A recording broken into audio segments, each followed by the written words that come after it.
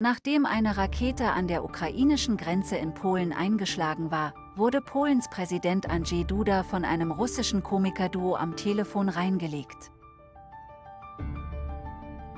In dem auf der russischen Videoplattform RuTube veröffentlichten Gespräch geben sich die Komiker Wovan und Lexus als der französische Präsident Emmanuel Macron aus.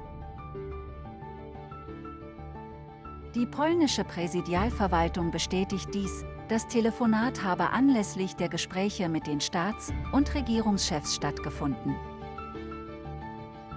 In dem siebenminütigen Gespräch erklärte Duda in holprigem Englisch unter anderem, dass eine Rakete russischer Fertigung eingeschlagen sei, beschuldigte Russland aber nicht.